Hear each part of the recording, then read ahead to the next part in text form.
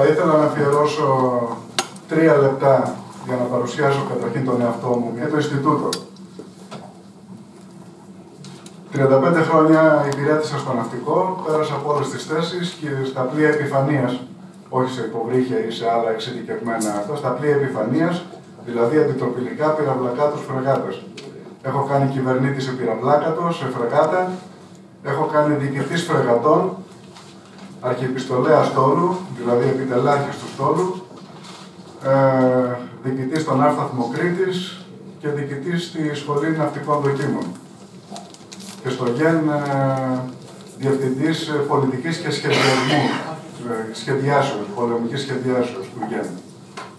Και από πολλές άλλες θέσεις έχω πάει δύο φορές για εκπαίδευση στην Αμερική, ένα μεταπτυχιακό στη μηχανολογία όπλων, γιατί η εξειδίκευσή μου ήταν τα οπλικά συστήματα. Ε, σχολή πολέμου της Αμερικής, έχω κάνει στη Βόνη, ναυτικός ακόλουθος, και έχω κάνει μεταπτυχιακό στο Πάντιο στις Διεθνείς Σχέσεις ε, και Ευρωπαϊκές Σπουδές. Και αυτή τη στιγμή δραστηριοποιούμε σαν πρόεδρος του Ελληνικού Ινστιτούτου Στρατηγικών Μελετών το οποίο εδρεύει αυτή τη στιγμή στην Πατησίων 88 ιδρύθηκε το 1994 κυρίως από αποστράτους των τριών κλάδων των ενόπλων δυνάμεων ε, βάσει όμως του καταστατικού του, μέλος μπορεί να γίνει οποιοδήποτε δεν έχει ποινικό μητρό δεν έχουμε περιορισμούς. Γι' αυτό και σήμερα πλέον τα μέλη μας προέρχονται από πολλούς χώρους ε, κοινωνικούς και αυτό μας βοηθάει ιδιαίτερα στη σύνθεση των, ε, των απόψεών μας και των θέσεών μας. Είναι μη κερδοσκοπικό σωματείο. Στο καταστατικό του περιλαμβάνεται και το τηρούμε κατά γράμμα η μη κομματικοποίηση του σωματείου αυτού, Δηλαδή το Ινστιτούτο μας ε, υποχρεώνει τα μέλη του Διοικητικού Συμβουλίου να μην έχουν άμεση ή έμεση σχέση με πολιτικό κόμμα. Ακριβώς για να η γυναίκα του Κέσσαρος λέει πρέπει και να είναι και να φαίνεται. Ε, δεν μας χρηματοδοτεί κανείς φορέας, ούτε του δημοσίου ούτε του ιδιωτικού τομέα. Ε, οι, τα έσοδά μας προέρχονται από τις ε, ετήσιες ε, συνεισφορές των μελών που ανέρχονται στα 50 ευρώ το χρόνο και προσπαθούμε, ο σκοπός του Ινστιτούτου είναι να αναδεικνύει τα εθνικά θέματα, όλο το φάσμα των εθνικών θεμάτων και στο εσωτερικό της χώρας και στο εξωτερικό και με σκοπό αφενός με να διαφωτίζει την κοινή γνώμη, αφετέρου να επηρεάζει κατά το δυνατόν με την άποψή του και τη γνώμη του τα κέντρα λήψης αποφάσεων. Αυτά είναι λοιπόν εν ολίγης. Περισσότερα μπορείτε να βρείτε στο elisme.gr και θα είναι χαρά μας να σας δούμε και στο Ινστιτούτο, εάν ενδιαφέρεστε, το οποίο έχει στο σελίδα, το elisme.gr, έχει το περιοδικό που έχετε δει και με κάποια τεύχη του έξω όσα μπόρεσα να κουβαλήσω. Κάνουμε ημερίδες, συνέδρια ε, και ούτω καθεξής, προσπαθώντας ακριβώς να κάνουμε όλα αυτά πράξη. Και ερχόμαστε στο θέμα. Καταρχήν ε, δεν χρειάζεται να αναπτύξω τη, το κοινό δια, αυτό που διαπιστώνουμε καθημερινά, ότι το διεθνές περιβάλλον είναι και ρευστό και ασταθές της ευρύτερης περιοχής του εθνικού ενδιαφέροντος. Στα Βαλκάνια πρόσφατα μάλιστα ζήσαμε και μια ανατροπή με, την, ε, με το βέτο Μακρόν ε, στην ένταξη των Δυτικών Βαλκανίων, στην ε, έναρξη συνομιλιών για την ένταξη στην Ευρωπαϊκή Ένωση. Ο Μακρόν βεβαίως είχε μια σειρά από λόγους. Ο επίσημος λόγος είναι ότι δεν πληρούν τις προδιαγραφές. Ε, και δεν έχει άδικο. Όλοι ξέρουμε ότι και το ένα κράτος και το άλλο όντως δεν πληρεί τις προδιαγραφές για να αρχίσει συνομιλίες. Ξέρουμε ότι στην Αλβανία τα, τα κόμματά τους είναι παράλληλα εμπλέκονται και με το εμπόριο ναρκωτικών. Κράτος δικαίου δεν υπάρχει. Στο άλλο στα Σκόπια είναι κάπως καλύτερα, αλλά και εκεί μέσα είναι συνοθήλευμα και ε, δεν πληρεί και αυτό τις προϋποθέσεις και συνεπώς ε, τυπικά ο Μακρόν είναι εντάξει, ο οποίος αμφισβητεί ε, την διαδικασία ε, αξιολογήσεως των κρατών προς ένταξη, θεωρώντας ότι δεν μπαίνουν δικαιωματικά στο χώρο των συνομιλιών για την ένταξη, αλλά μπαίνουν ε, με πολιτικές σκοπιμότητες. Και δεν έχει άδικο κατά βάθος. Τώρα, ίσως κατά βάθος ο Μακρόν έβλεπε ότι τα Δυτικά Βαλκάνια, επειδή ανήκουν στη γερμανική σφαίρα επιρροής, Εάν μπουν αργά ή γρήγορα μέσα, θα δυναμώσει περισσότερο η Γερμανία έναντι της Γαλλίας. Αυτό είναι μια άλλη, μια άλλη ανάγνωση. Και μια τρίτη ανάγνωση είναι ότι πάντα η Γαλλία είχε μια άλλη τοποθέτηση ως προς τη θέση της Ρωσίας στην Ευρώπη σε σχέση με την αντίστοιχη Αμερικανική. Δηλαδή, η Αμερική θέλει έξω η Ρωσία από τα Βαλκάνια, έξω η Ρωσία από την Ευρώπη. Η Γαλλία πάντα είχε μια διαφορετική προσέγγιση. Μην ξεχνούμε το δόγμα de Gaulle που έλεγε η Ευρώπη είναι από τον Ατλαντικό στα Ουράλια. Ε, και συνεπώς και αυτό ακόμα είναι μια τρίτη ανάγνωση και το γεγονός βέβαια ότι δεν θέλει να χαρίσει ολοκληρωτικά ο Μακρόν τη Ρωσία στην Κίνα. Θέλει να κρατάει δεσμούς με τη Δύση. Αυτά ως προς τα Βαλκάνια. Η άλλη περιοχή που μας ενδιαφέρει που είναι στη γειτονιά μας η Μέση Ανατολή. Δεν θα επεκταθώ γιατί ήδη ακούσαμε σχόλια για την Μέση Ανατολή. Ε, οι τελευταίες εξελίξεις δείχνουν ότι ο κερδισμένος της περιοχής είναι ο Άσαντ και η Ρωσία. Η Τουρκία εν μέρη, γιατί δεν εκπλήρωσε όλα τα φιλόδοξα σχέδια που είχε για την περιοχή, πλην όμως αποκόμισε κάποια περιορισμένα κέρδη και οι Αμερικάνοι παραμένουν νοτιότερα στα πετρέλαια. Αυτή είναι η διαμορφωμένη κατάσταση. Ε, στη Λιβύη το ξέρετε ότι υπάρχει ένας εμφύλιος ετών όπου και εκεί συγκρούονται πάλι δύο κόσμοι. Η Τουρκία αναφαντών στηρίζει την Τρίπολη. Γιατί, Γιατί στηρίζει τους απανταχού αδελφούς μουσουλμάνους και στη Μέση Ανατολή και παλιά στην Αίγυπτο του Μόρση και τώρα στη Λιβύη, παραβιάζοντας κάθε ε, συμφωνία περί μη ενισχύσεως των δύο πλευρών. Και απ' την άλλη είναι ο στρατηγός Χάφταρ στη Βεγγάζη, ο οποίος ε, στηρίζεται από την Αίγυπτο, τη Σαουδική Αραβία και ούτω καθεξής. Και από την Αμερική αλλά και από τη Ρωσία. Και εκεί γεννάται βέβαια το ερώτημα, γιατί εμείς έχουμε γραμμότητες με ε, αποκλειστική ζώνη μεταξύ Ελλάδος και Λιβύης δεν έχει χαραχτεί ακόμα. Και επειδή ξέρουμε πάρα... Ορίστε. Ευτυχώς. Ναι. Αλλά εάν όμως ε, η Τουρκία αυτή τη στιγμή επενδύει εμπράκτος στην Τρίπολη, Καταλαβαίνετε τι θα συμβεί εάν επικρατήσει η Τρίπολη στη Λιβύη μετά τον εμφύλιο. Με την προμηθεύει με στρατιωτικό υλικό, με UAVs. Στο αεροδρόμιο υπάρχουν αεροσκάφη της Τουρκίας. Λοιπόν, έμπρακτα και με χρήματα. Αναρωτιέμαι αλήθεια γιατί εμείς ως τώρα δεν κάναμε κάποιο προξενείο στο Χάφτα, το στρατηγό Χάφτα, το να, να, να επενδύσουμε και εμείς τέλος πάντων στην περιοχή. Ε, και βεβαίως πάμε το τρίτο, στο τρίτο κομμάτι που αφορά Θράκη, Αιγαίο, Ανατολική Μεσόγειο. Και ιδιαίτερα Ανατολική Μεσόγειο. Βλέπετε ποια είναι η κατάσταση. Όλοι παρακολουθούμε τις εξελίξεις. Έχει αποκλειστεί η Κύπρος από πλοία ερευνών, από γεωτρύπανα και από πολεμικά πλοία της Τουρκίας. Άρα λοιπόν, συμπέρασμα, δεν αρκεί να κηρύσεις ΑΟΣ, πρέπει και να την μπορείς και να την προασπίσεις. Αλλιώς πας με ανοιχτό το χέρι και παρακαλάς τον κάθε άλλον να έρθει να ε, κάνει αυτό που θα έπρεπε να κάνεις μόνος, εφόσον δεν μπορείς. Και έτσι λοιπόν είμαστε στη φάση τώρα που δίνουμε άδειες, δίνει άδειες στο Κυπριακό κράτος στους Γάλλους, Ιταλούς, ελπίζοντας σε καμιά φρεγάτα γαλλική και ιταλική που θα έρθει εκεί πέρα για να κάνει αυτό που όφιλε να κάνει ο ελληνισμός, όχι μόνο η Κύπρος, αλλά και η Ελλάδα που είναι γη δύναμης. Εθνικό κέντρο. Κεντρικό κέντρο, ακριβώς. Γενικές προκλήσεις τώρα στην ευρύτερη περιοχή μας είναι η, ο ανταγωνισμός των μεγάλων δυνάμεων, το ξέρουμε. Αναφέραμε ήδη τη Ρωσία η οποία εδραιώνεται στην Ανατολική Μεσόγειο, Λατάκη, Ταρτούς, σε βάθος μες στη Συρία. Ε, η, ο θαλάσσιος δρόμος του μεταξιού της Κίνας, ο οποίος έχει βάλει την Ανατολική Μεσόγειο στο επίκεντρο και οι Ηνωμένε Πολιτείε, οι οποίες ξέρουμε ότι εδώ και καιρό εστιάζουν στο δυτικό ειρηνικό και στην άνοδο της Κίνας και έχουν βάλει σε δεύτερη μοίρα τη Μέση Ανατολή και έτσι ερμηνεύεται και μια σειρά ενεργειών της Αμερικής τα τελευταία χρόνια στην περιοχή μας. Ασφαλώς δεν εγκαταλείπει την περιοχή. Ε, υπάρχουν οι διακρατικές σχέσεις και οι ανταγωνισμοί μεταξύ κρατών, όπως οι αναθωρητικές φιλοδοξίες της Άγκυρας έναντι του ελληνισμού. Υπάρχει το μεταναστευτικό, η τρομοκρατία, η ενεργειακή ασφάλεια, η παράνομη αλληλεία, απώλεια πολλών δισεκατομμυρίων ετησίως γι' αυτό, το οργανωμένο έγκλημα, η κυβερνοασφάλεια, το περιβάλλον, Και βέβαια κοινός παράγωνα στάθειας σε όλα αυτά είναι η Τουρκία. Γιατί πολλαπλώς συντελεί στην αστάθεια στην περιοχή. Σε ό,τι αφορά την ενεργειακή ασφάλεια τώρα και την ενέργεια γενικότερα, ε, είναι ένα σύνθετο θέμα στο οποίο δεν μπορώ να επεκταθώ, αλλά σίγουρα δεν υπάρχουν εύκολες λύσεις. Γιατί ακούγονται κατά καιρούς ε, ε, απόψεις του τύπου γιατί δεν πάμε κατευθείαν στην καθαρή ενέργεια, γιατί δεν μπορούμε να αυτό. Βεβαίως, κατά εκεί πάμε, κατά εκεί θέλουμε να πάμε και εκεί τελικά θα καταλήξουμε. Αυτό είναι σίγουρο. Αλλά δεν είναι μια υπόθεση που μπορεί να γίνει αύριο.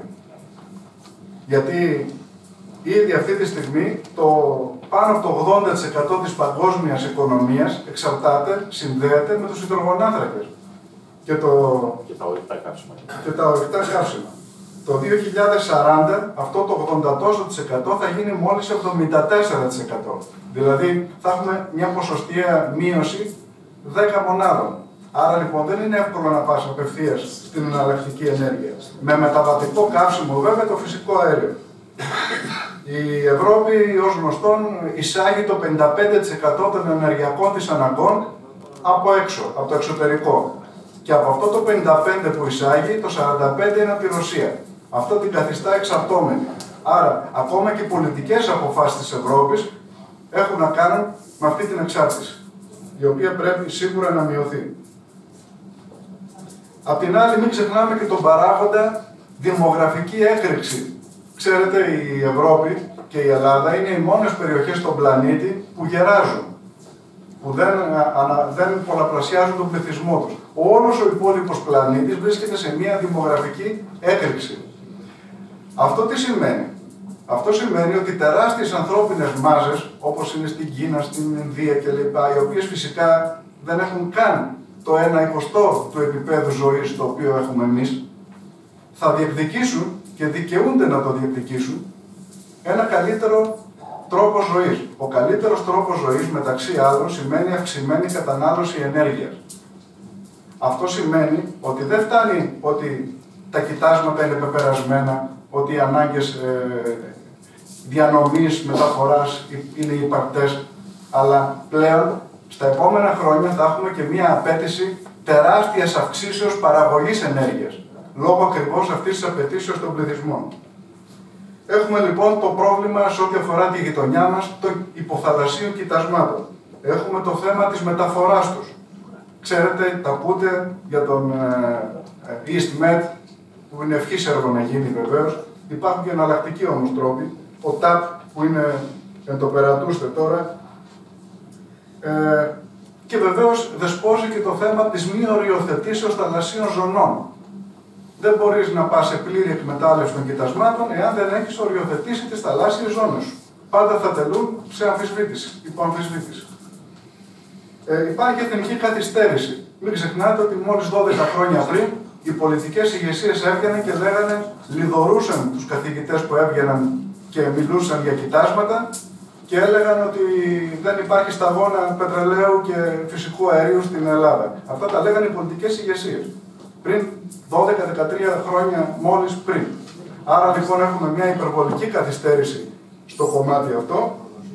Έχουμε όμως παρόλα αυτά μια μεγάλη προοπτική ανοίγεται μια μεγάλη ευκαιρία, την οποία όμως η ευκαιρία δεν περιμένει για πάντα. Η ευκαιρία, αν είσαι έτοιμος, την αρπάζεις, αλλιώς φεύγεις. Συνεπώς, έχουμε μια προοπτική σοβαρότατη. Να φύγουμε από τη μιζέρια. Τώρα, σε ό,τι αφορά τις, εθνικές, τις εθνικές απειλές και τις προκλήσεις μας θα σας ευνηδιάσω λέγοντας ότι δεν θεωρώ νούμερο ένα απειλή την Τουρκία. Μακράν μεγαλύτερη απειλή ε, αποτελεί ο συνδυασμός δημογραφικό μετανάστευση Ισλάμ. Αυτή είναι η νούμερο ένα απειλή γιατί η ΜΕΝ Τουρκία απειλεί ζωτικά μας συμφέροντα, ο άλλος συνδυασμός δημογραφικό μετανάστευση Ισλάμ απειλεί την ίδια την ύπαρξή μας. Θα πω μόνο μερικά γιατί είναι τεράστιο το θέμα. Θα πω μόνο μερικά στοιχεία. Σε ό,τι αφορά το δημογραφικό, η Ελλάδα αυτή τη στιγμή που μιλάμε χάνει 40.000 Έλληνες το χρόνο. Χάνει δηλαδή μια πόλη 40.000 ετησίως. Και σε αυτά δεν συνυπολογίζω τους νέους που φεύγουν έξω, ούτε τα ατυχήματα, ούτε αυτούς που δεν μπορούν να τεχνοποιήσουν ή αυτούς που επιλέγουν να μην τεχνοποιήσουν. Τίποτα από αυτά. Μόνο η διαφορά θανάτων γεννήσεων. Έτσι, είναι αυτό. Σε αυτά λοιπόν πρέπει να προσθέσουμε τους 300 περίπου μουσουλμάνους μετανάστες που έρχονται καθημερινά στη χώρα μας.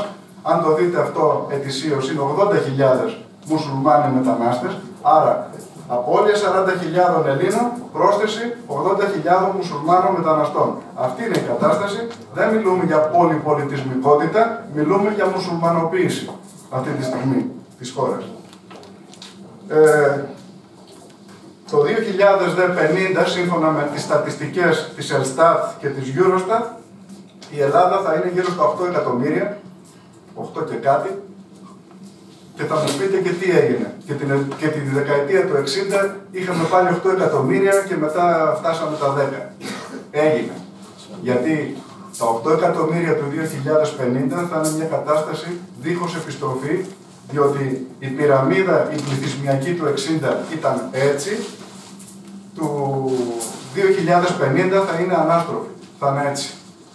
Γιατί θα λείπουν οι νεανικοί πληθυσμοί στην ηλικία 0 ως 5 ετών, στην ηλικία 5 ως 10 ετών και στην ηλικία 10 ως 15 ετών θα έχουμε απώλειες ανά πενταετία 200.000 αγόρια και 200.000 κορίτσια. Και είναι αυτά που θα ανανέωναν τον πληθυσμό του μέλλοντος. Άρα λοιπόν καταλαβαίνετε για ποιο, γιατί μιλάμε. Συνεπώς δεν χρειαζόμαστε αντίπαλο αυτή τη στιγμή, εξαφανιζόμαστε και μόνοι μας, μόνο με το δημογραφικό. Έτσι. Λοιπόν, τώρα, αν σε αυτά προσθέσουμε τη μετανάστευση, καταλαβαίνετε τι γίνεται και το Ισλάμ βέβαιο που για μας έχει μια ιδιαίτερη σημασία, όχι σαν θρησκεία. Θρησκοί είμαστε ανεξίθρησκοι, δεν μας ενδιαφέρει τι πιστεύει ο καθένας. Μας ενδιαφέρει όμως το πλαίσιο το οποίο επιβάλλει αυτή η θρησκεία στους πιστούς, το νομικό, το πολιτισμικό, τη στάση, τη συμπεριφορά, τη στάση ζωής, η οποία σε πάρα πολλές περιπτώσεις είναι ασύμβατη με το Σύνταγμα μιας δυτικής χώρας, με το νομικό μας πλαίσιο, με τα κατ' εμάς χρηστά ήθη και έθιμα και ούτω καθεξής. Άρα λοιπόν γι' αυτό μιλάμε. Δηλαδή μιλάμε για την αφομοιωσιμότητα. Και δεν είναι δική μας η εμπειρία. Η Ευρώπη το έχει δοκιμάσει αυτό δεκαετίες. Με πλούσια προγράμματα εντάξεως. Με πολλά κονδύλια αφιερωμένα στην ένταξη μουσουλμάνων μεταναστών. Και το πείραμα μετά από τέσσερις δεκαετίες έχει αποτύχει. Ε, συνεπώς, όλα αυτά, αυτές οι μεταναστεύσεις γίνονται λόγω της τεράστιας ε, δημογραφικής εκρήξεως την οποία αναφέρθηκα πριν. Θα σας πω μόνο ένα μέγεθος. Αυτή τη στιγμή που μιλάμε η Αφρική είναι 1,2 δις κάτοικοι. Έχει δηλαδή υπερτετραπλασιαστεί από το τέλος του Παγκοσμίου Πολέμου, του Δευτέρου. Και αυτό το 1,2 δις της Αφρικής που είναι σήμερα το 2100 θα είναι 4,5 της. Δηλαδή, χώρες σαν την Ιγυρία που σήμερα είναι 200 εκατομμύρια θα είναι 700 εκατομμύρια το 2100. Στην πλειοψηφία τους και αυτοί όλοι μουσουλμάνοι. Αυτοί όλοι καταλαβαίνετε, συντελούσες και της κλιματικής αλλαγής, θα έρθουν κατά πάνω. Σε μια γερασμένη Ευρώπη που θα θέλει εργατικά χέρια και απ' την άλλη με ένα βιωτικό επίπεδο που θα διαφέρει παρασάγκας και όλοι αυτοί θα έρθουν εδώ. Άρα είμαστε μην μπερδευόμαστε, μην νομίζουμε ότι για όλα τα φαινόμενα μεταναστεύσεως φταίει ο πόλεμος στη Συρία. Φταίει και ο πόλεμος στη Συρία. Αλλά δεν είναι αυτό το αίτιο. Το αίτιο είναι πολύ μεγαλύτερο και είμαστε στην αρχή του φαινομένου. Στα επόμενα χρόνια, είτε μας αρέσει είτε όχι, θα δούμε αυτό που ζούμε σήμερα να μετατρέπεται σε τσουνάμι. Και εκείνο είναι το θέμα που πρέπει να μας επιβάλλει τώρα, χθες, εθνικές πολιτικές. Ε, τώρα, η τεχνολογία βέβαια, εδώ υπάρχει ένα μπέρδεμα σε θέματα αξιών.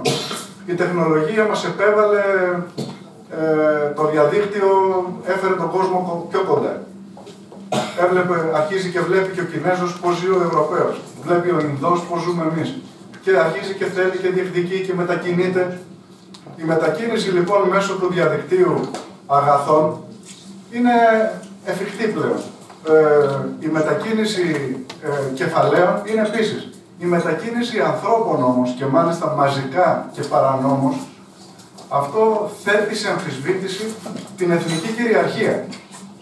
Άρα δηλαδή από τη μία θέλουμε ελευθερία μετακινήσεως μαζών καταβούληση όπου αυτοί επιθυμούν και το εθνικό κράτος τι κάνει; Τι ρόλο έχει στην απόφαση; Τι κάνουν τα έθνη κράτη; Άρα λοιπόν είναι δύο αντίρροπες δυνάμεις αυτή τη στιγμή για τις οποίες πρέπει να αποφασίσουμε τι θέλουμε αύριο. Θέλουμε έθνη κράτη ή θέλουμε μια πορτοποιημένη κοινωνία χωρίς εθνικές αντιστάσεις, χωρίς συλλογική εθνική συνείδηση; Θέλουμε αυτό που λέμε πολίτες του κόσμου, αλλά τουλάχιστον αυτή τη στιγμή οι εθνικές ηγεσίες λογοδοτούν. Οι εθνικές ηγεσίες, αν θέλεις, τις καταψηφίσεις, αν θες τις αλλάζεις. Και η λογοδοσία των εθνικών κυβερνήσεων είναι και στοιχειώδες, θεμελιώδες στοιχείο δημοκρατίας. Όταν αυτό όμως πάψει να υπάρχει και υπάρχει μια κοινωνική πολτοποίηση που δεν ξέρεις ποιος είναι από πίσω, κάποιοι, κάποιοι υπερεθνικοί φορείς που δεν ξέρεις πάντα ποιοι ακριβώς είναι. Άρα δεν λογοδοτούν. Δεν ξέρεις ποιοι κινούν τα νήματα. Εκεί λοιπόν αρχίζει το πρόβλημα. Ποιος διοικεί από εκεί, από εκεί και πέρα και πού το πάει. Και δεν έχεις δικαίωμα ούτε καν να το ψηφίσεις. Και φτάσαμε λοιπόν στη σημερινή κατάσταση που όπως ξέρετε είναι μια άλλη μορφή πολέμου. Έχετε ακούσει για τον υβριδικό πόλεμο. Η μαζική μετανάστευση είναι μια άλλη μορφή πολέμου αυτή τη στιγμή. Ξέρετε καλά ότι ο Ερντογάν και η Τουρκία θέλει να αναγορευτεί σε διεθνή προστάτη των μουσουλμάνων. Αυτή τη στιγμή λοιπόν μας γεμίζει μουσουλμάνων. Και το επόμενο βήμα ήδη το κάνει, έρχεται εδώ πέρα όποτε έρχεται και τι λέει. Το κάνατε, το, το ανακαινήσατε το τζαμί στην Αθήνα.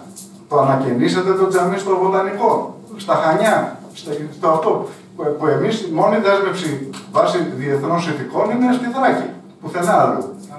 Τώρα, άρα λοιπόν, όσο περισσότερο αυξάνονται οι μουσουλμάνοι, τόσο περισσότερο ανοίγει το δικαίωμα παρεμβάσεως, το οποίο η Τουρκία με κάθε τρόπο θα κοιτάξει να το κατοχυρώσει και νομικά.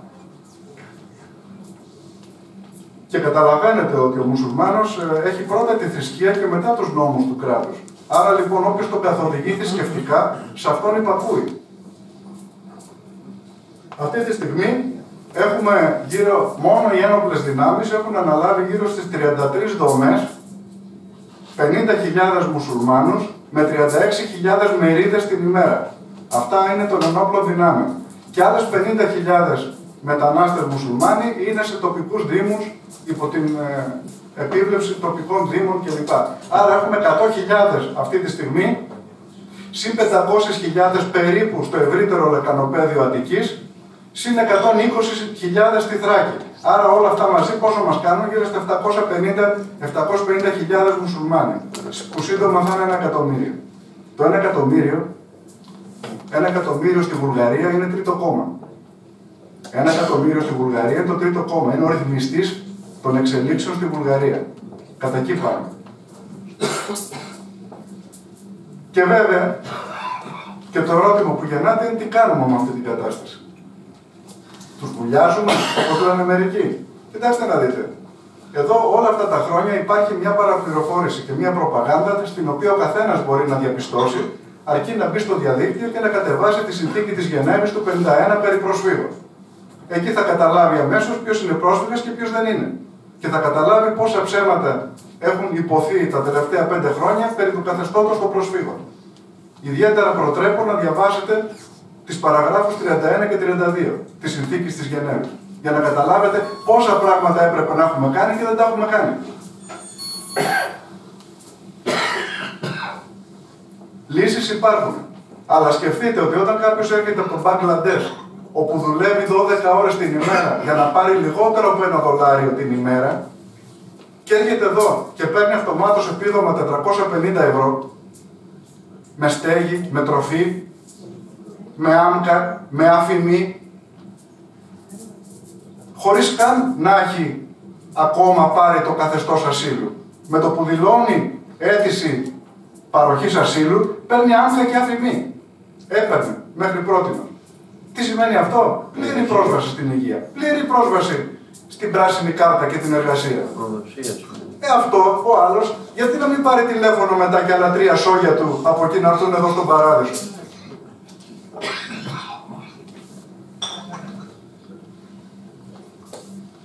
Εξάλλου, εμείς οι, οι δυτικοί πάντα τα βλέπουμε όλα καλοπροαίρετα. Λέμε οι καημένοι που ήρθαν εδώ, τα γυναικόπαιδα και, και το λέω και το εννοώ αυτό το πράγμα. Γιατί έτσι είναι για, για πολλές οικογένειες από αυτούς. Δεν το βλέπουν έτσι πάντα άλλοι λαοί που διέπονται από άλλες αρχές. Ο Μπαγδάτη που είναι και πρόσφατα νεκρός, το είπε με όλους τους τόνους ότι εμείς θα καταλάβουμε τη Δύση με τον επικισμό, που είναι υποχρέωση των μουσουλμάνων. Και κατήρθησε και ολόκληρο σχέδιο, με χρονοδιάγραμμα. Πρώτο ο επικισμός, μετά η εγκατάσταση, μετά η αύξηση, μετά η ο κλειδονισμός του δυτικού συστήματος και μετά η επικράτηση. Έβαλε και τα στάδια. Και δεν είναι μόνο ο Μπαγδάτη, είναι και άλλοι. Φεύγω από το κομμάτι αυτό λοιπόν και πάμε τώρα στα τουρκικά, στα ελληνοτουρκικά.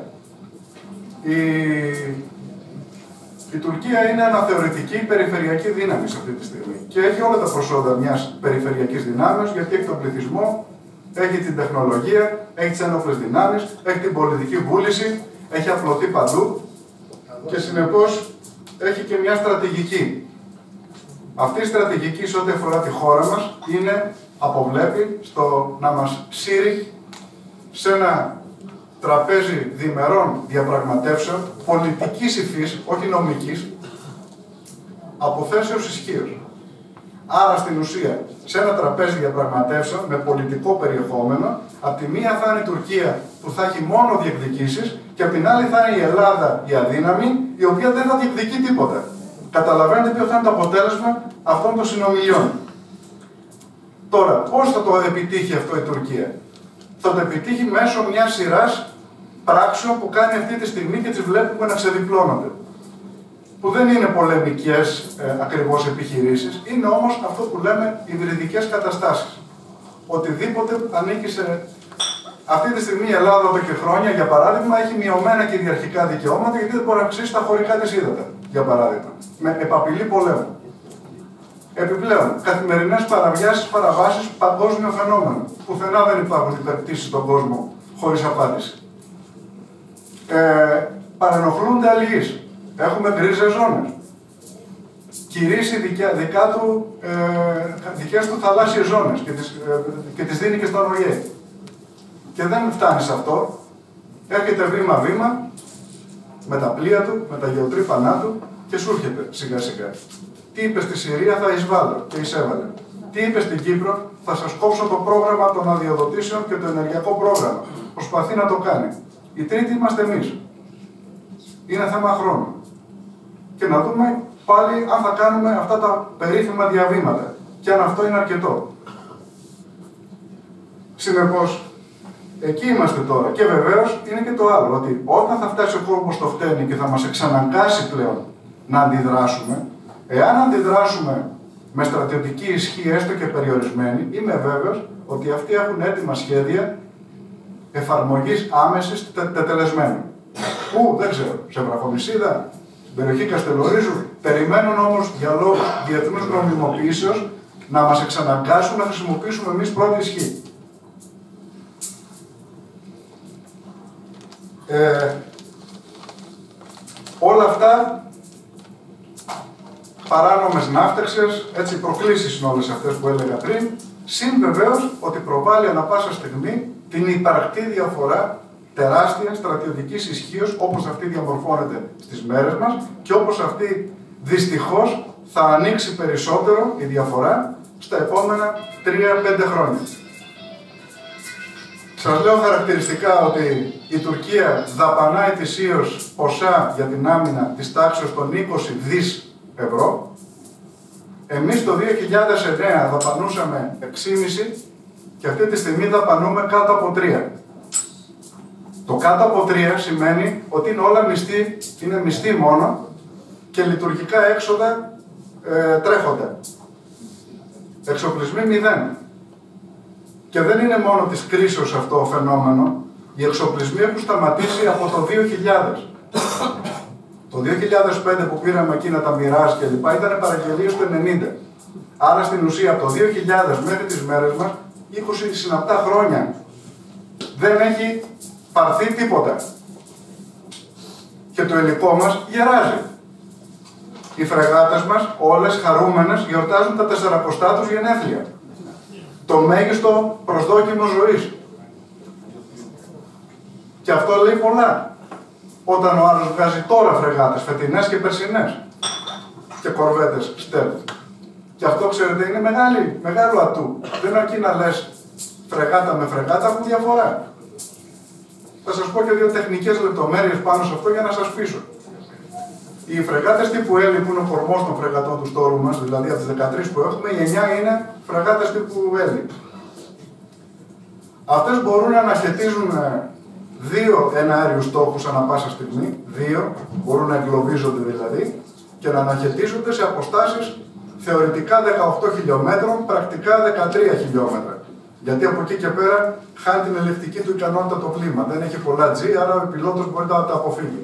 Άρα λοιπόν, τι, δύο στόχοι μέχρι 13 χιλιόμετρα. Αυτή είναι η ιστορία.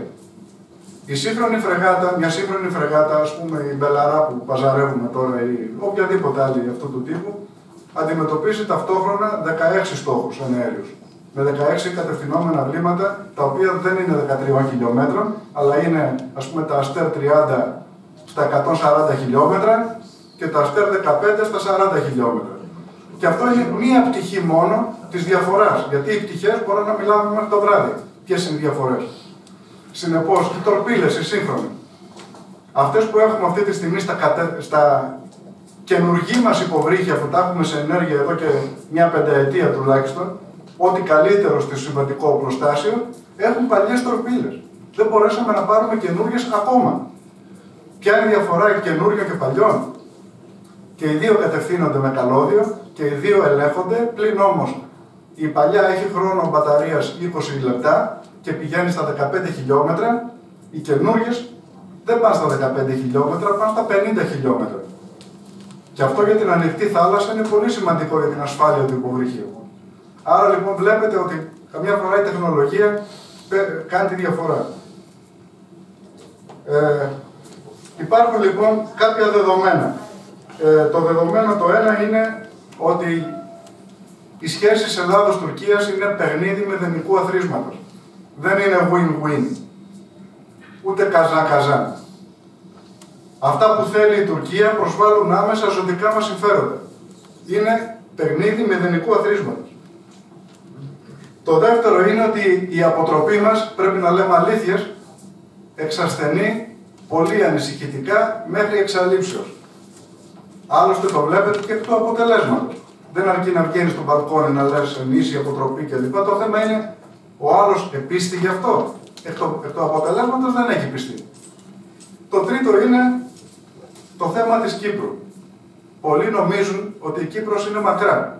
Πολλοί νομίζουν ότι κάνουμε χάρη στους Κυπρίους όταν πάμε να τους βοηθήσουμε. Ότι είναι δυνητική η υποχρέωσή μας. Άποψή μου ακράδαντη είναι ότι όταν βοηθάμε τους Κυπρίους υπηρετούμε ζωτικά μας συμφέροντα. Αν θα δείτε το γεωστρατηγικό χώρο μας εδώ στην περιοχή της Ανατολικής Μεσογείου, όπου γεωγραφικά ο ελληνισμός επικρατεί, έχουμε έναν ενιαίο γεωστρατηγικό χώρο που ξεκινάει από το Ιόνιο, από τους Οθονούς και φτάνει στην Κύπρο. Αυτός ο ενιαίος χώρος ελέγχει θαλάσσιες γραμμές επικοινωνιών, ελέγχει ε, με επιτήρηση και δυνατότητα επιθέσεως σε τρεις υπήρους για όποιον ελέγχει τα νερά μας ελέγχει τα στενά. Τα στενά που λέγε, έλεγε πριν και ο κύριος Καζάκης που είναι σπουδαία και είναι σπουδαία, χάνουν την αξία τους και τη σημασία τους εάν δεν στηρίζονται από το Βόρειο Αιγαίο και τη Μακεδονία και τη Θράκη. Αυτοί οι χώροι είτε προστατεύουν τα στενά, είτε τα προσβάλλουν τα στενά. Είναι πακέτο. Συνεπώς τα στενά μόνο τους δεν λένε τίποτα. Ε, Όποιος μπαίνει και βγαίνει από τα στενά περνάει από εμάς. Συνεπώς, όλο αυτό το πράγμα λοιπόν είναι η αξία του γεωπολιτικού μας χώρου. Ό,τι περνάει για την Αδριατική τροφοδοτεί την κεντρική Ευρώπη. Και αυτό όλο το ελέγχουμε. Ό,τι περνάει για τη Μαύρη Θάλασσα ελέγχεται πλήρως. Και αυτό τροφοδοτεί όλη την Ανατολική Ευρώπη και τη Ρωσία. Είναι σπουδαία η θέση μας. Δεν την έχουμε πουλήσει όσο θα έπρεπε εντός παρενθέσεως. Και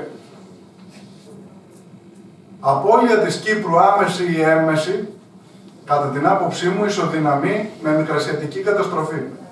Και ίσως και μεγαλύτερη. Κόβονται τα χέρια μας και τα πόδια μας. Γινόμαστε μια λίμνη, στην ουσία ένα πράγμα, ένα κρατήδιο. Αυτή είναι που μας δίνει τη γεωπολιτική προ προέκταση και μας φτάνει στη Μέση Ανατολή. Λόγω της Κύπρου ευωδώνεται η συμμαχία μας με το Ισραήλ. Γιατί όλο αυτό το πράγμα τι κάνει, κάνει τον εναλλακτικό διάδρομο προσβάσεως της Δύσεως στη Μέση Ανατολή παρακάμπτοντας την Τουρκία. Και είναι πολύ σοβαρό αυτό. Και ενεργειακά. Γιατί ακούω τελευταία να διατυπώνονται σκέψεις του τύπου για να μην κρεμόμαστε από το Ιράν και τα στενά του ορμούς και μας κάνει κάθε φορά εκβιασμού στο Ιράν, ακούγονται και σκέψεις του τύπου ένας αγωγός από τα κράτη του κόλπου να φτάνει στην Άκαμπα και να καταλήγει στην έρημο του Σινά. Και αυτός ο αγωγός να φτάνει και στον East Med. Προσέξτε, αν, αν συνέβαινε αυτό, τι θα σήμαινε για μας, για τον πλούτο μας, για την ενέργειά μας και την αξία μας. Και αυτό τα ακούω από αμερικανικές πηγές. Άρα δεν είναι αβάσιμο. Ε, και ας πούμε τώρα δύο λόγια, γιατί πολλές φορές συγχαίουμε... Έχω υπερβεί το χρόνο. το Ναι. Για, να μην κουραστεί το ακροατήριο. Ναι, ναι, ναι. Τα στοιχεία που είναι πάρα πολύ σε ό,τι αφορά την αποτροπή, καμιά φορά είναι παρεξηγημένη έννοια. Νομίζουμε ότι η αποτροπή είναι μια λέξη που όποιος τη χρησιμοποιεί του αρέσουν οι εξοπλισμοί και ούτω καθεξής. Ξέρετε, κάθε δραστηριοποίηση, ενεργειακή, επιχειρηματική, επένδυση και όλα αυτά τα πράγματα θέλουν ένα καθεστώς ασφαλείας. Καθεστώς ασφαλείας χωρίς αποτροπή δεν υπάρχει. Το επιγή ειρήνη και ανθρώπιση ευδοκία δεν υπάρχει. Δυστυχώς. Θα θέλαμε, αλλά δεν υπάρχει. Δικαιώνεται πάντοτε ο Θουκυδίδης. Και συνεπώς αποτροπή είναι εκ των όνων Τι σημαίνει αποτροπή; Αποτροπή σημαίνει ότι πείθω τον αντίπαλό μου ότι αν προβείς σε οποιαδήποτε επιθετική ενέργεια, το κόστος που θα υποστεί θα είναι τόσο δυσανάλογο που δεν αξίζει τον κόπο. Αυτό σημαίνει, έχει δύο σκέλη. Το ένα είναι ότι η πολιτική ηγεσία έχει τη βούληση να το κάνει και απ' την άλλη ότι μπορεί να το κάνει. Το μπορεί να το κάνει πάει στις ένοπλες δυνάμεις. Δηλαδή έχει τη δύναμη να το κάνει. Αν σε ένα από τα δύο δεν πείσει, δηλαδή μπορεί να έχεις τις καλύτερες ενόπλες δυνάμεις, αλλά αν δεν πείσει ότι έχεις και την πολιτική βούληση να τις χρησιμοποιήσεις, καταραίει η αποτροπή. Συνεπώς πρέπει και τα δύο αυτά να πείθουν τον άλλον. Ε, και αυτή είναι η αποτρεπτική φήμη που χτίζεται με τα χρόνια. Που το Ισραήλ έχει αποτρεπτική φήμη. Γι' αυτό και δεν το αγγίζει κανείς. Εμείς την έχουμε απολέσει εμπολή στην αποτρεπτική φήμη. Τώρα, υπάρχουν μια σειρά ιδεολειψίες αυτή τη στιγμή. Υπάρχει η ιδεολειψία που αναφέρθηκε και πριν περί ελληνοδοκικής φιλίας. Υπάρχουν ε, αριστερόστροφες ιδεολειψίες με κερασάκι και αποκορύφωμα το ψευδοδήλημα βούτυρο ή κανόνια, δηλαδή θέλετε για την άμυνα ή θέλετε για κοινωνικές παροχές, παιδεία, υγεία κλπ. Ψευδοδήλημα είναι αν ρίξετε μια ματιά στο διεθνές περιβάλλον, θα δείτε ότι τα κράτη με τις μεγαλύτερες κοινωνικές παροχές έχουν και τις ισχυρότερες ένοπλες δυνάμεις. Το ένα δεν αποκλείει το άλλο. Απέναντία, οι ένοπλες δυνάμεις δεν είναι μόνο έξοδα, είναι και έσοδα. Όταν επενδύεις στην υψηλή αμυντική τεχνολογία, μπορείς να πάρεις πολλά πίσω. Όπως παίρνει ο Ερντογάν σήμερα.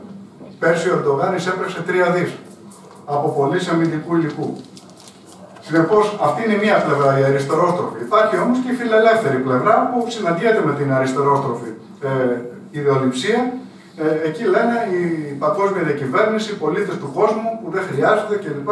Και εκεί συναντιόνται με τους αριστερούς.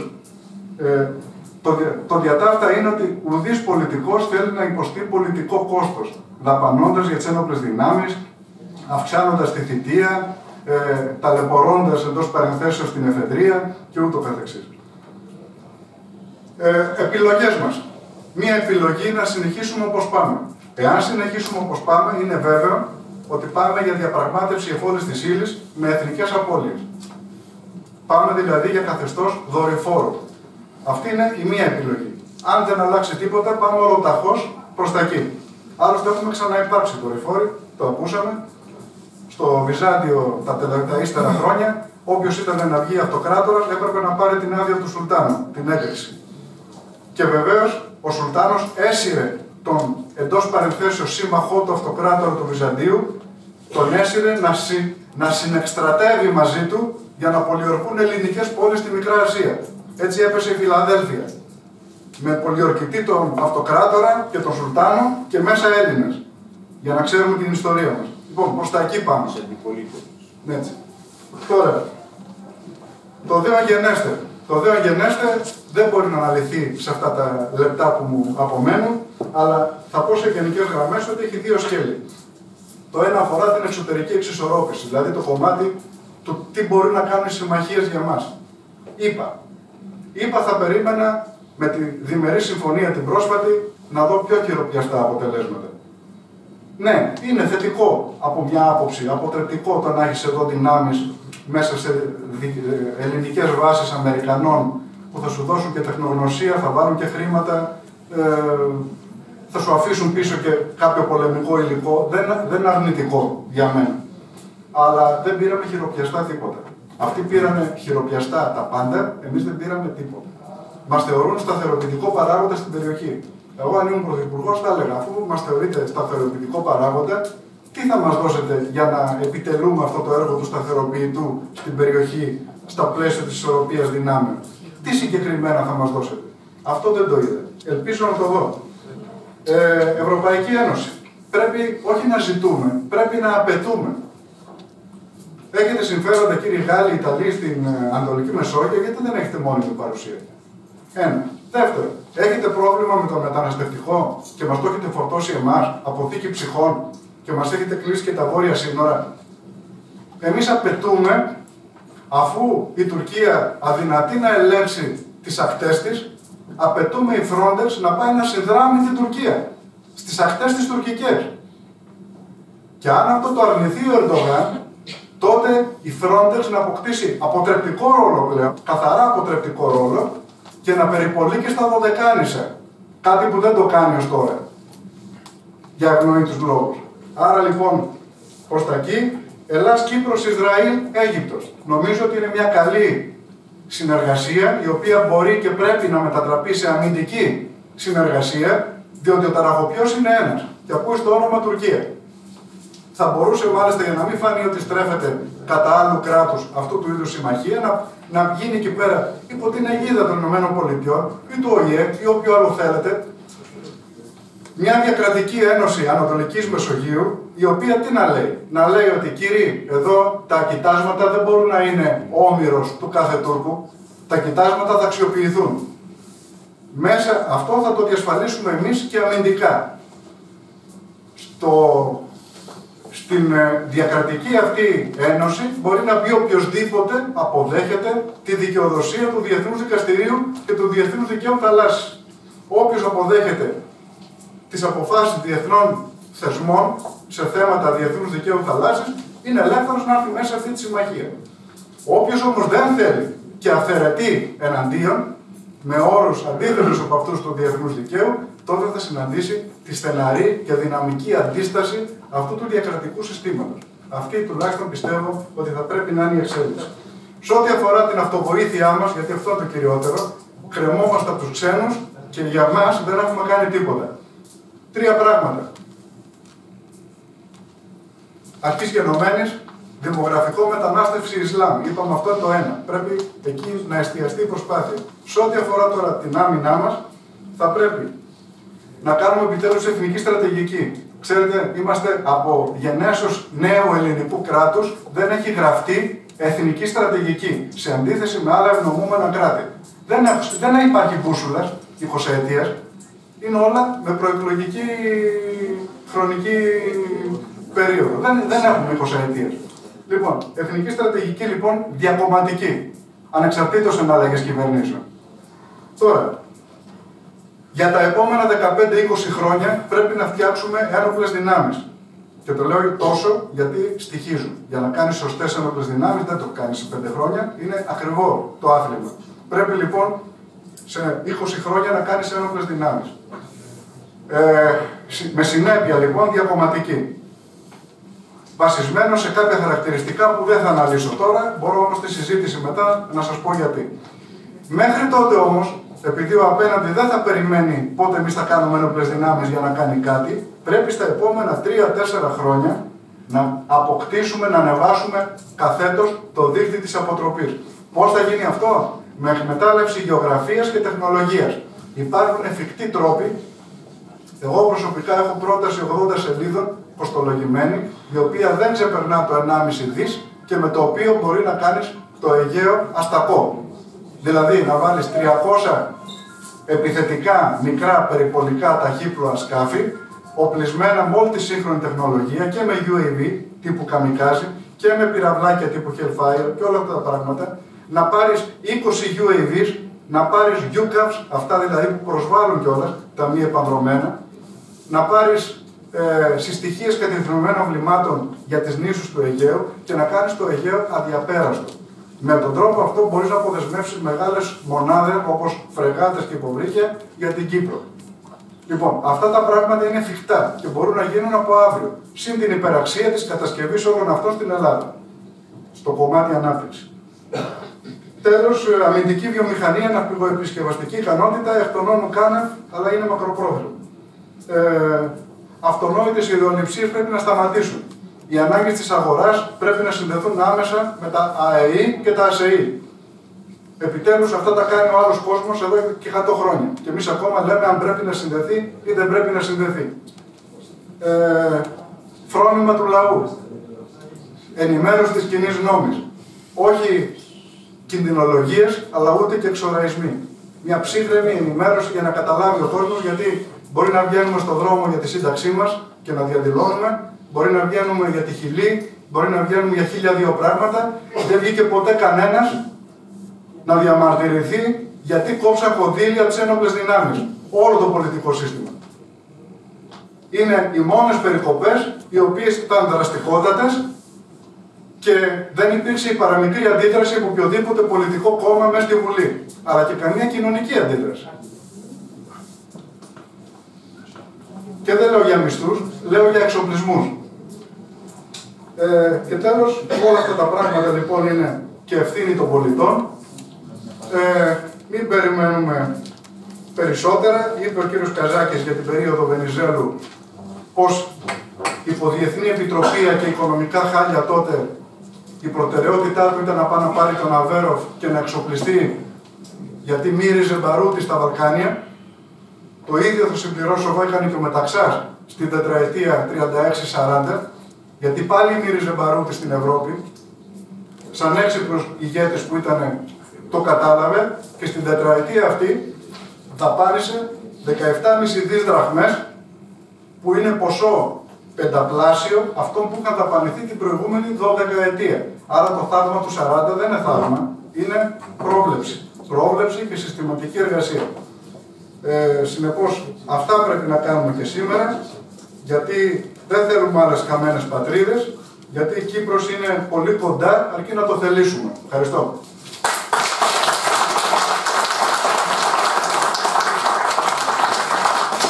Θέλει κάποιος κύριος να κάνει, κυρία, να κάνει ένα ερώτημα. Μάλιστα. Θα παρακαλέσω να είναι σύντομα για να μπορέσουμε να προσαρμοστούμε στο πρόγραμμα. Η κυρία πρώτα. Ε, και έχω μια ερώτηση. Ε, γιατί η δεξί, αριστερή, αριστερή, δεξί στη Βουλή δεν μιλάει κανείς. Τώρα που ερχόμουν εδώ μια κυρία δίπλα, μια Ελληνίδα, είχε το χέρι της έτσι. Γιατί και αυτοί δεν τη δίνουν 400 ευρώ ε, για να τρώει και τζάμπα ρεύμα και φαγητό. Σας παρακαλώ, γιατί δεν λένε τίποτα. Μόνο λένε για την Οβάρτη. Μα αυστηρή την Οβάρτη, μα ξέρω εγώ έδειξε. Σας παρακαλώ. Αυτά που λέτε, γιατί δεν τα κάνουν οι άλλοι; Γιατί δεν μιλάει κανείς από αυτού. Δεξί, αριστερή, αριστερή, δεξί. Να μην αφήσω κανέναν έξω. Ευχαριστώ. Καλά κάνατε και κάνετε το ερώτημα. Δεν παρακαλώ. Θέλετε να απαντήσετε, παρακαλώ. Ε, κύριε Μαρκίνο. Ναι. Ε, η απάντηση είναι ότι έχετε δίκιο σε αυτό το πράγμα. Εξήγησα και πριν ότι υπάρχουν αριστερόστροφες προσεγγίσεις του θέματος με εντός παρενθέσεως κοινωνική ευαισθησία και υπάρχουν και φιλε, νεοφιλελεύθερες προσεγγίσεις που συναντιόνται με τις αριστερόστροφες στο κομμάτι αυτό του κοσμοπολιτισμού.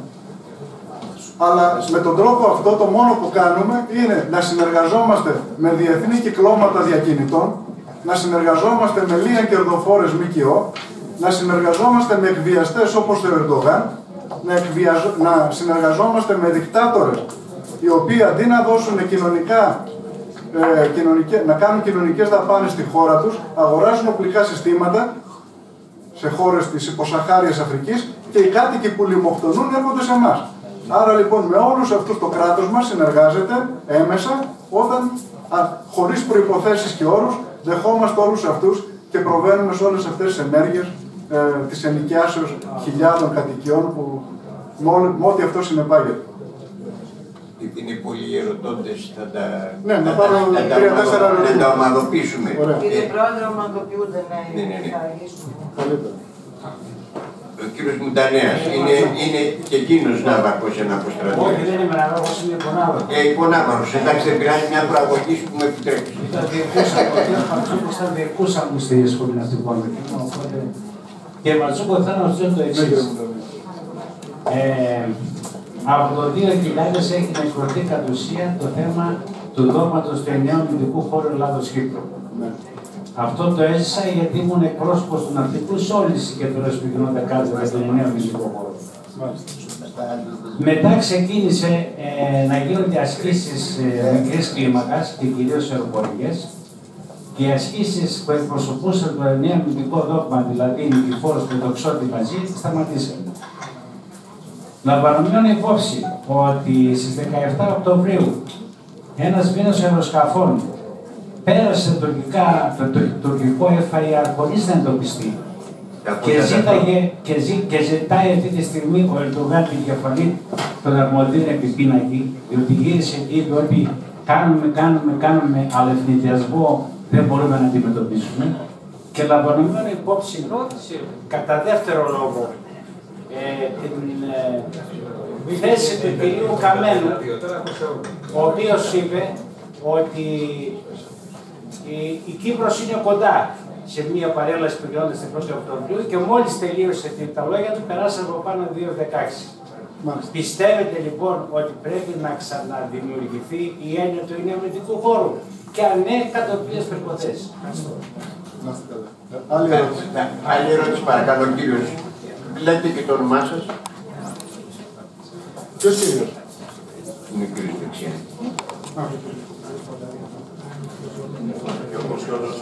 Παράκληση, παράκληση να είναι όσο το δυνατόν συντετριμένε οι ερωτήσει.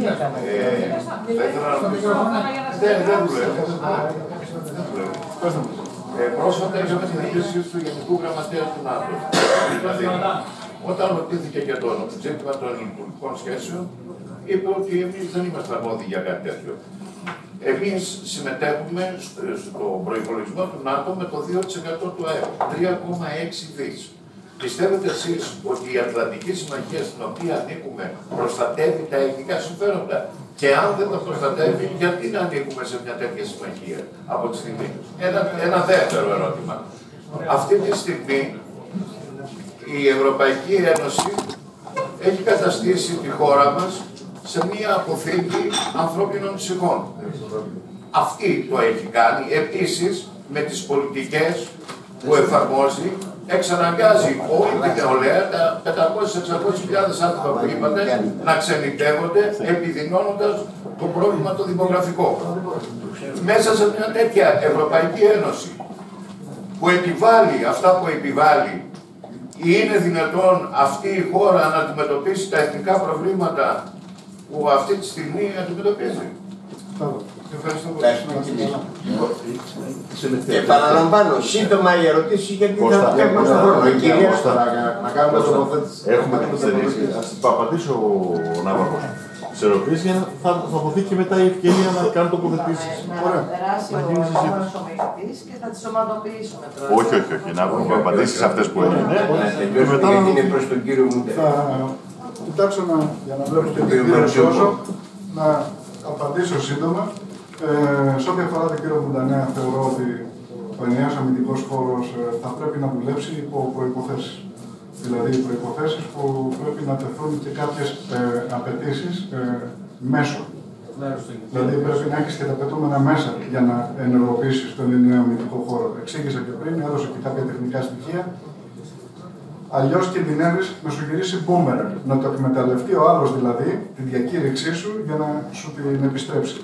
Ε, Συνεπώς θέλει αυτό και σε πολιτικό επίπεδο πρέπει επιτέλους να ξεκαθαρίσει και το καθεστώς μεταξύ Ελλάδο-Κύπρου σε ό,τι αφορά τη λήψη αποφάσεων. Κάτι που ταλανίζει τις σχέσεις Ελλάδο-Κύπρου από το 50. Έτσι ήταν πάντα διαχρονικό θέμα. Τώρα λέμε η Κύπρος αποφασίζει και η Ελλάδα συμπαρίσταται. Είναι βολικό καμιά φορά αυτό για μας, για να βγάζουμε και την ουρά μας απ' έξω και να αποφασίζει η Κύπρος. Απ' την άλλη δεν ξέρουμε κατά πόσο ε, πρέπει πάντα ένα κομμάτι του ελληνισμού να αποφασίζει και να σέρνει το εθνικό κέντρο σε όποια απόφασή του. Άρα λοιπόν, να ξεκαθαρίσει λίγο αυτό, γιατί απ' την άλλη στις συνομιλίες για το Κυπριακό, για παράδειγμα, η άλλη πλευρά ξέρουμε από ποιον εκπροσωπείται. Δεν υπάρχει το τουρκοκύπριο αυτό, είναι ο Ερντογάν. Από εδώ δεν ξέρουμε ποιος είναι. Υπάρχει πάντα η ομίχλη. Συνεπώς, α δούμε λοιπόν αυτό το θέμα, ας δούμε και τις αμυντικές προποθέσει και ναι, να το ενεργοποιήσουμε είναι απόλυτα σκόπιμο. Κάνουμε μια σύντομη. Ε, και το άλλο για την Ευρώπη και την, ε, για το ΝΑΤΟ. Κοιτάξτε, ε, σε αυτόν τον κόσμο, ακόμα και δυνάμεις μεγαλύτερες από εμάς, κράτη μεγαλύτερα από εμάς, δεν μπορούν να αντεπεξέλθουν μόνοι τους. Πρέπει να επιλέξουν μια μορφή συμμαχίας. Αυτή τη στιγμή νομίζω ότι οι πλέον ενδεδειγμένοι είναι αυτοί που επιλέξαμε, δηλαδή συμφωνώ με τον ΝΑΤΟ και την Ευρωπαϊκή Ένωση, γιατί δεν βλέπω εναλλακτική. Ε, όχι ότι όλοι αυτοί διασφαλίζουν τα εθνικά μας συμφέροντα, ούτε τα περιμένει κανείς να τα διασφαλίσει. Απ' την άλλη, βέβαια, θα μπορούσε ίσως για τις εισάτοπων αυτοαγωγής να δει τι ενδεχομένως χειρότερα θα μπορούσε να έχει πάθει η χώρα μας, εάν για παράδειγμα δεν ήταν στην Ευρωπαϊκή Ένωση. Έτσι. Συνεπώς, σε διπλωματικό επίπεδο, σε επίπεδο τεχνοκρατικό, σε επίπεδο αυτό, συμφέρει να είσαι μια τέτοια συμμαχία ή αν θέλετε ακόμα και σε προσβασιμότητα υψηλής τεχνολογίας. Α πούμε, στον χώρο το δικό μας των ενόπλων δυνάμεων, είναι τεράστια η ωφέλεια του να είσαι μες στον ΝΑΤΟ. Γιατί και σε, στη μαχητική σου ικανότητα και στα τεχνικά σου χαρακτηριστικά και ούτω καθεξής. Άλλωστε, θυμάστε και την περίοδο Καραμαλή, που ίσως διέπραξε το μεγαλύτερο σφάλμα του το 1974 να μας βγάλει από το ΝΑΤΟ, γιατί μετά από τρία χρόνια μπήκαμε παρακαλετή. Στα τέσσερα παρακαλετή για να πάρουμε τα μισά από ό,τι είχαμε πριν. Στο ΝΑΤΟ οι αποφάσεις παίρνονται ομόφωνα. Αυτό είναι το θέμα. Και, και, και πολλές φορές και για την Ευρώπη και για τον ΝΑΤΟ Σωστά λέτε ότι δεν εξασφαλίζουν τα εθνικά μας συμφέροντα, μόνο εμείς τα εξασφαλίζουμε αυτά. Αλλά απ' την άλλη, ε, να κοιταζόμαστε και στον καθρέφτη λίγο. Να δούμε εμείς σε σχέση με άλλους λαούς εντός των συμμαχιών αυτών, τι καλύτερο θα μπορούσαμε να έχουμε κάνει; Ναι. Κύριε Μαρτούκο, θα μου επιτρέψετε και ζητώ και από το ακροατήριο να μου επιτρέψει όσο μπορώ πιο σύντομα να εκφράσω μία αντίρρηση σε αυτό. Βεβαίω. Θα αναφερθώ στο Μακιαβέλη που λέει ότι τα ξένα όπλα ή γλιστρούν ή σε πνίγουν ή σε βαραίνουν. Αυτό, αλλά οι συμμαχίες είναι απαραίτητες. Συμφωνώ. Όμως, να λάβουμε υπόψη μας και αυτό που έχει ο- πει ο μεγάλος Ναπολέοντας, ότι οι συμμαχίες είναι για να ενισχύουν τους ισχυρούς της συμμαχίας. Και πραγματικά το έχουμε δει στην πράξη για να δικαιολογήσω και τον Καραμαλή δεν υπήρξα ποτέ Καραμαλικός, αλλά δεν μπορώ να μην αποδώσω τα του Κέσσαρα στο Κέσσαρι. Σωστά έκανε το 75 που έφυγε από τον ΝΑΤΟ και θα σας πω γιατί. Το πληρώνουμε. Το γράφει, στο, γράφει, στα, στα, γράφει στο Ίδρυμα Καραμαλή στα απομνημονεύματά του που έστειλε έγγραφο επίγον και ζητούσε έκτακτη σύγκληση του ΝΑΤΟ από υπουργούς εξωτερικών και πρωθυπουργούς για να αντιμετωπίσει τον Ατήλα 2 που δεν είχε εκπληρωθεί ακόμη. Στις 29 Ιουλίου, αν δεν απατώμε, ζητούσε να γίνει σύγκληση και ξέρετε τι του απαντήσανε. Ο Γενικός Γραμματέας για τις γραμματέως του ότι έχει προγραμματίσει να πάει διακοπές στο Θεό σας. Σκοτώνονταν ο κόσμος και έχει προγραμματίσει να πάει διακοπές και έχουν αντιλημμένες υποχρεώσεις. Σε αυτό... Είμαστε αναγκασμένοι δυστυχώς να είμαστε σε αυτή τη συμμαχία, αλλά πρέπει να προβάλλουμε και απαιτήσεις για να παραμένουμε και να εκπληρώνουμε τις υποχρεώσεις μας, τα τρία δις που δίνουμε. Που σημαίνει ότι θα μπορούσε να πηγαίνουν στους εξοπλισμούς. Ναι, να μείνουμε στη συμμαχία. Εγώ δεν θέλω να ανοίγω πολλά μέτωπα. Δεν θέλω πολλά μέτωπα για, με αυτή την έννοια. Να μείνουμε στη συμμαχία και στην Ευρωπαϊκή Ένωση εκτός ο ναι, εκτός και δεν υπάρχει ο ναι, Υπάρχει μόνο νομισματική ένωση, για τον έλεγχό μας δηλαδή. Τα αφήνω αυτό, να μείνουμε αλλά με προβολή απαιτήσεων ώστε αυτά που δίνουμε να τα παίρνουμε και οι δυνατόν ημέρα. Συμφωνώ, συμφωνώ. Κατά το μόνο που υπάρχει είναι ότι επειδή οι αποφάσεις λαμβάνονται ομόφωνα εκεί μέσα, είναι το εξής. Όσο εμείς είμαστε απόντες από το στρατιωτικό σκέλος της συμμαχίας, πάρθηκαν αποφάσεις οι οποίες μας συρρήκνωσαν. Δηλαδή, λέω χαρακτηριστικά ότι ο εκάστοτε αρχηγός ναυτικού της Ελλάδος ήλεγχε για λογαριασμό του ΝΑΤΟ με ανατολικό καπέλο, ήλεγχε όλη την Ανατολική Μεσόγειο. Και είχε τον χαρακτηρισμό Commentist. Μπορεί να σχέσει Πάει αυτός. Δεν υπάρχει πλέον. Να μπορεί να σχέσει βέτο η Ελλάδα στις αποφάσεις του ΝΑΤΟ. Ε, ναι, μπορεί, μπορεί, μπορεί, μπορεί, τυπικά, μπορεί, τυπικά. Κάθε τυπικά μπορεί, τυπικά μπορεί, τυπικά μπορεί. Λοιπόν, η κυρία Πέζα παρακαλώ για να πάμε σύντομα τι θέλετε την ερώτηση. Ελέγχθη ότι δεν έχουμε κάνει συλλαγητήρια για το στρατό. Όλοι γνωρίζουμε ίσως το γιατί και αυτό είναι θέμα πολύ ακαθόδης και έχετε απόλυτο δίκιο που το θέσατε. Εγώ σας ρωτάω όμως τούτο. Πότε ο στρατός θα αποκτήσει τη διάκριση να καταλάβει ότι είναι ο στρατός του κόσμου, των πολιτών. Θέλετε του λαού, να το πούμε και του λαού. Λοιπόν, πότε θα το καταλάβει αυτό, ούτως ώστε όταν μια κυβέρνηση δεν είναι υπέρ του λαού, εφόσον έχει ισχύ και έχει τα όπλα να παίρνει την ισχύ στα χέρια υπέρ του λαού και όχι υπέρ της εκάστοτε κυβέρνησης η οποία δεν δρά υπέρ του λαού. Πότε αυτό ο στρατός θα το καταλάβει και θα είμαστε υπέρ των ενόπλων δυνάμεων, υπέρ των, των δυνάμεων μας. Ε, να σας πω μια σύντομη απάντηση σε αυτό. Προσωπικά δεν νιώθω ότι ανήκω σε κάποια ελίτ. Ο πατέρας μου ήταν δημόσιος υπάλληλος και ανήκω σε, μια, σε αυτή τη λεγόμενη μεσαία τάξη. Και νομίζω όλοι οι συμμαθητέ μου το ίδιο είναι στο ναυτικό. Αλλά και στο στρατό, ψηρά κλπ. Συνεπώς δεν είμαστε κάποια ελίτ στο στρατό. Ε, με χαρά πάντως διαβάζω τις στατιστικές ε, ότι θεωρούμαστε ο πλέον αξιόπιστος δημόσιος φορέας στη συλλογική συνείδηση. Όποτε γίνονται δημοσκοπήσεις. Ακριβώς. Και αυτό με χαροποιεί ιδιαίτερα. Δεν είδα κάτι, δηλαδή εμείς δεν, δεν καταλαβαίνω αν έχουμε κάποια διακριτά διαφορετικά συμφέροντα. Έχουμε ταχθεί, έχουμε υπηρετήσει πιστά όλα αυτά τα χρόνια τις ένοπλες δυνάμεις, δίνοντας όρκο, μη έχοντας ωράριο, μη έχοντας συνδικαλισμό και ορθώς δεν έχουμε συνδικαλισμό. Ε, στερούμενοι του δικαιώματος της ελεύθερης εκφράσεως, δεν μπορούμε να γράψουμε, δεν μπορούμε να εκφραστούμε, δεν μπορούμε όλα αυτά, αυτοπεριοριζόμαστε και καλά κάνουμε, είναι επιλογή μας, ακριβώς για να υπηρετούμε αυτό που λέμε πατρίδα. Δεν καταλαβαίνω γιατί προσπαθείτε να διαφοροποιήσετε το στρατό από το λαό. Ο στρατός είναι του λαού. Δεν είναι γιατί αυτοί, ο στρατός γιατί, είναι λαός. Γιατί, ο στρατός είναι λαός. Έτσι, γιατί αυτοί υπηρετούν. Ποιος το υπηρετεί, ο γιος σας, η κόρη, η κόρη μου, ο Α, ο Β, ο Γ. Αυτό είναι ο στρατός. Με συγχωρείτε που επιτρέπετε να σας πω ότι, ότι μόνο πριν πάρει στα χέρια του η κυβέρνηση τη Ελλάδα Πρέπει να πρέπει όμως να γι' αυτό σεβαστείτε και τον κόσμο. Πρέπει να υπάρχει πολιτικό προϊστάμενο. Παρακαλώ, επειδή υπάρχει και επόμενος ομιλητής, μπορούμε να την αναβάλουμε την ερώτηση για μετά τον ομιλητή. Τώρα, σε συντομία. Κυρία μου, κοιτάξτε, έχω την εντύπωση. Έχω την εντύπωση ότι δεν είμαστε σε κάποιο δικτατορικό καθεστώς. Είμαστε έχουμε κοινοβουλευτική δημοκρατία. Ε, όχι, δημοκρατία. Έτσι. Ο λαός λοιπόν, ο, λαός, ο, ο στρατός λοιπόν υπηρετεί τις εκάστοτε επιταγές του λαού όπως αυτές εκφράζονται μέσω του Κοινοβουλίου. Όταν η κυβέρνηση δεν δίνει του λαού της θέληση, Κυρία παρακαλώ, ο στρατός είναι λαός. Ένοπλος, ένστολος λαός.